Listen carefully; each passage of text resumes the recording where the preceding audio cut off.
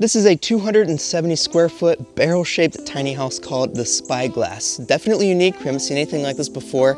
We're here at Onera in Texas. Let's go check this place out.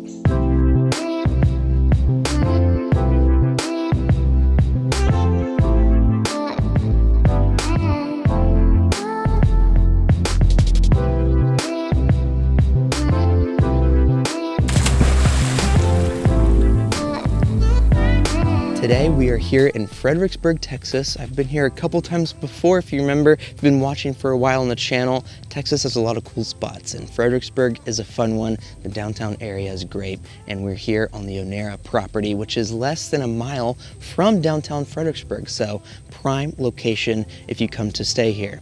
On the Onera property, there are several unique units here to check out, and in this video, we'll be touring the Spyglass Tiny House. This is 270 square feet of living space. The barrel shape is really unique. I haven't seen anything quite like this, and it actually helps with the floor plan inside to make it feel a little bit more spacious. I'll explain when we get in there, but back on the outside, this just looks incredible. The black wood with the natural wood for the exterior with the lights. There's a deck on the front side, all private, surrounded in these trees and we're elevated off the ground on these metal poles. It is awesome. So when you arrive on the property, you'll find your parking spot. You walk down the path. The first thing that greets you is this fire pit area. It's not raining. Sadly, it's a little gloomy today, but that's okay. Continue walking, we'll make it to your units. This front side is the front of the barrel, and up here on the deck space, there's a couple seating options and a grill if you need to grill anything for the food. But overall, not much to do in this area. The fun begins inside and on the other deck. So let's walk inside and check it out. Walking inside, this is only 270 square feet of living space, so definitely tiny, not a lot to work with. I think they did a great job. There's a full kitchen here, a bathroom on this side, and a bed and living space in front of me. They packed a lot in here, and I think what helps is the round barrel shape. So with an A-frame, the walls go inside and it makes it feel a lot smaller because the walls are going over the floor. But with here, the round walls stick out. So it feels like there's a lot of extra space compared to just the floor. So you can have things pushed up against the wall and save a little bit of extra space. Anyway, the first part is this kitchen. To the right, they have everything you need for a couple days stay. In the middle, we have a sink, espresso coffee, a microwave. Above this, there's a floating shelf with your dishes, and then there's cabinets below. This drawer has a hot plate in it if you need to cook anything. And then on this right side, there is more storage with all of these shelves. And on this end of the kitchen, we have more storage above kind of a small pantry Right below this, we have a refrigerator, really handy. I like how they blend it in with all the cabinets and makes it look seamless. And then more storage below. And on the other side of this, we have your bathroom area. There is a sliding barn door and the design of this is really cool. I like the black they did. Uh, it makes it stand out among everything else in this area. And then above, we have an AC unit, which is handy. So we can slide this open and head into the bathroom space. And here, the, there is a massive window that overlooks into your bedroom and living area. So this is definitely for couples, but it looks awesome.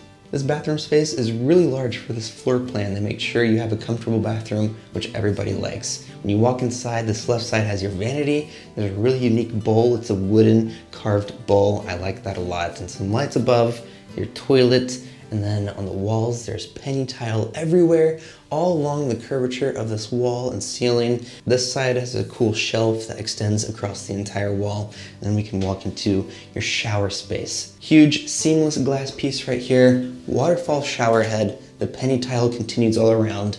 And then this glass window right here overlooking your bedroom and living space. So everything's kind of connected with this tiny house. But I kind of like it. it, makes the space feel all open and it's just a cool feature.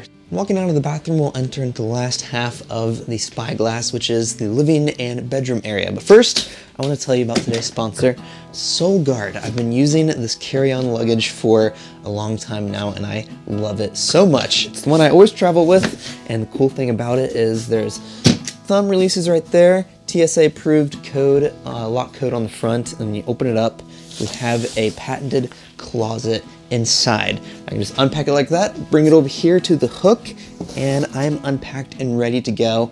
Five shelves total. You can store a lot of your clothes. I'm on a five day trip right now, and I have everything I need right in here. And then there's more storage on this side. I like to bring my own pillow, so that's on that side.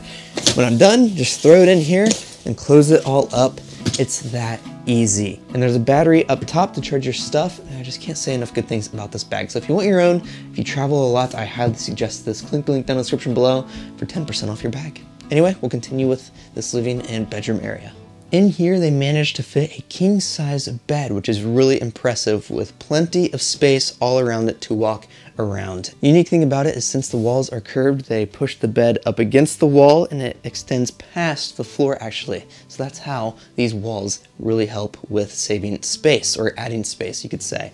There are nightstands on both sides. It is one slab of walnut wood that connects both of them around the bed. Really cool feature. And there are lights above it that you can individually turn on and off on both sides, which is nice. In front of the bed, there are two chairs here to sit if you don't want to be sitting or laying on the bed the whole time and a small walnut table in the middle. You can eat here, play small games here if you want. If we look on this side, this wall is full of windows, the round shape. We can overlook your front deck. You can close the curtains though if you want at night, so it's just even more dark and private in here, but let's walk outside and check out this deck space. This front deck is my favorite area of this whole stay. Out here, there is a wooden soaking tub. It is really humid today, so I cannot wait to get inside of this and cool off. There is a faucet on this side. You can fill it up with water, clean water every single time.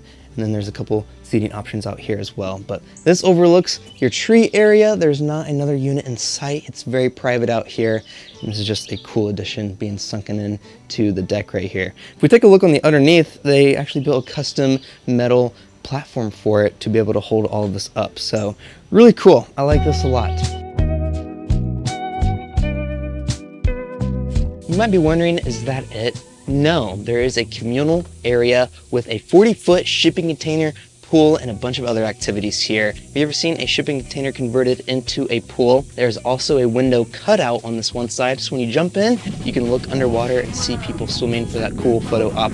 Perfect place to do some laps since it's all straight. You can go down and back, get a good workout in. There's also four lounge chairs up here, umbrellas, a spot for your towel, and then on the other side, there's a hot tub built into the deck if you don't like pools an outdoor shower. There is a barrel sauna right next to this, really cool feature, and then a bathroom that you can change in or in case you gotta go and you don't wanna walk back to your cabin. We walk along on the pathway to the other side, there are a couple hanging chairs off of this huge tree that's growing through the deck, and then there is a built-in net into the deck as well. This net is full of pillows. You can lounge here, lounge by the pool, or by the fire pit down on the bottom of the steps, communal fire pit area. If you book this place with a bunch of friends, you can all come to this fire pit, hang out by the pool, and just have a great time together. Or if not, you can just use the fire pit down at the cabin yourself. So that's the tour of the Spyglass property here at Onera. What do you guys think? This is definitely unique shape. Do you think the barrel adds a lot of space on the inside? Let me know down in the comments if you like that idea. And if you want to check out this place, the link is down in the description below if you want to book it. Next week, we'll be checking out the Monarch property. That one is a little bit bigger and it's very, very cool as well. So I'll see you guys next week. Real quick, Savannah's with me. We just did a Q&A on my second channel, so if you're curious, my first ever Q&A, go check it out. The video's up right now. Link down in the description. See you there. Underwear. Yay!